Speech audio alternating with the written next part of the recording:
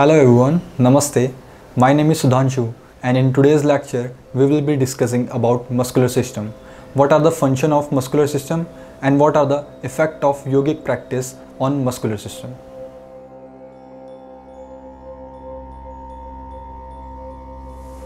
So let's start. The muscular system.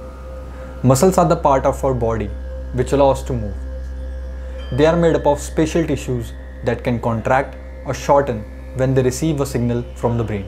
Muscle are attached to the bones by stretchy tissue called tendons. When muscle contract, they pull on the tendons and the tendons in turn pull on the bones and cause our limbs to move. Muscles are dependent on the nerves that supply them. Nerves stimulate the muscle to contract and they carry sensory information from our muscles to the brains so that muscular contraction and movements are coordinated.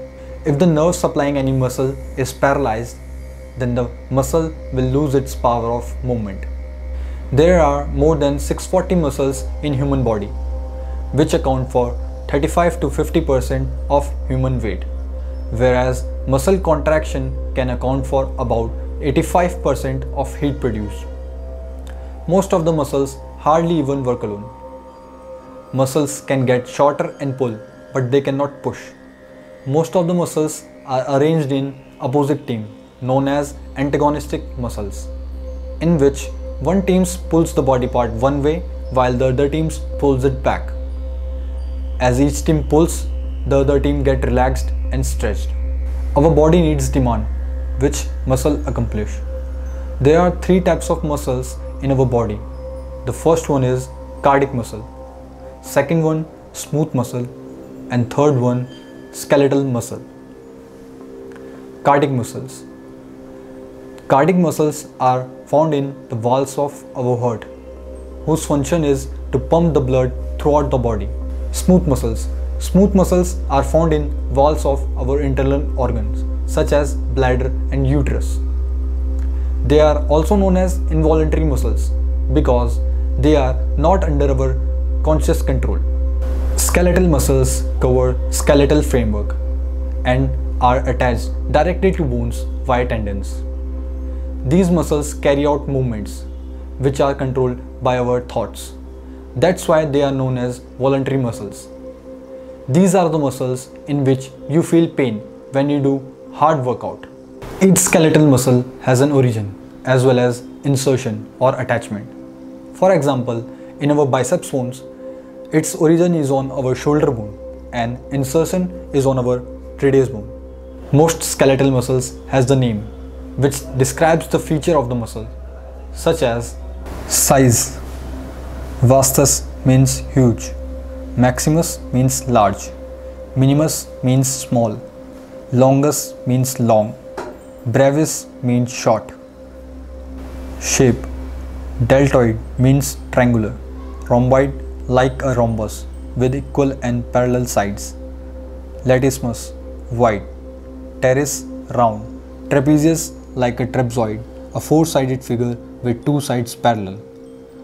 Direction of fibers rectus straight, transverse across, oblique diagonally, orbicularis circular.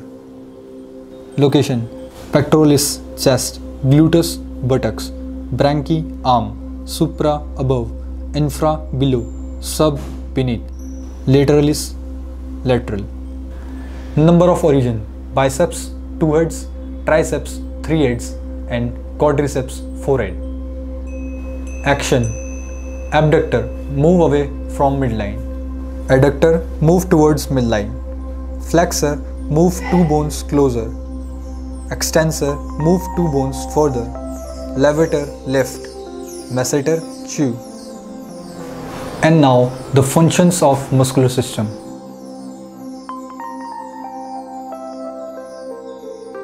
The first function is motion. The main function of the muscle is motion. For example, in conjunction with the bones, they help us to walk. Muscles may work alone. Example, diaphragm.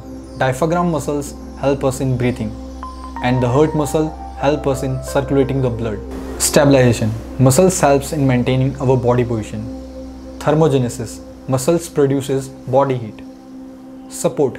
Muscles support our soft tissues such as abdominal wall or pelvic floor. And the last one, muscle help in guarding our entrance and exit. They are involved in swallowing, defecation and urination. The characteristics of muscle tissue.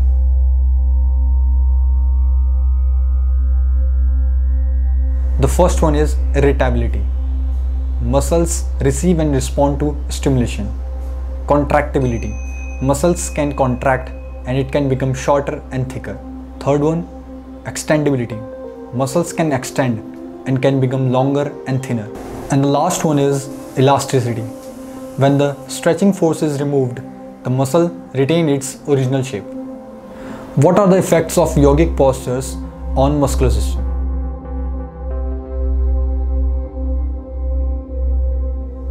Inverted pose. So while doing inverted pose, our cervical and dorsal spinal muscle and vertebrae are made stronger.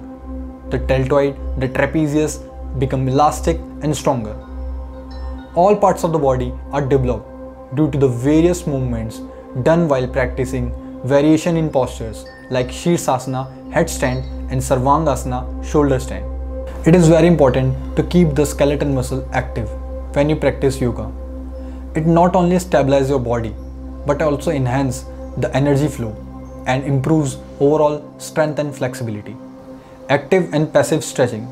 It is generally well known when we stretch our muscle in relaxed state it is very dangerous since it doesn't offer any additional support and stabilization toward joints that can result in tearing of the muscle and damage our surrounding area.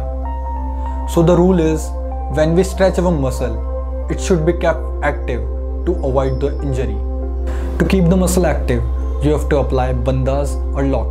These are the special technique by which you can stabilize your pose. You may also, for example, can press your base of the pose on the floor. By doing this, you activate the group of muscles which eventually become firm and stable, thus avoiding injuries. If you stretch a muscle in lengthened state, it will gradually stretch further and relax more, eventually become stronger. So activate the muscle which is stretched in a pose. If the muscle is stretched long enough, then the muscle will relax eventually. So try to hold the pose for longer duration, let's say 15 seconds. If you stretch a muscle, then the surrounding a muscle will also get stretched, which will lead to better strength and stability. Counterpose. It is very important to use counterpose in your class since they create balance and reset your muscles. For example, forward bend followed by back bend and side bend on both the sides. When you move from one pose to other pose, try to enter and exit with grace and elegance. Smooth, gentle, and controlled movement strengthen the body, quiets the mind, and induce relaxation. Creating internal heat within your body gives you more flexibility and helps your body to release toxins. Passive stretching is where you assume and hold a pose with the help and support of body parts, uh, blocks, and or any other self-assistance. It helps in reducing your soreness and tension after post-workout session. So this was the end of today's topic. Hope you will understand properly from this video. Thank you.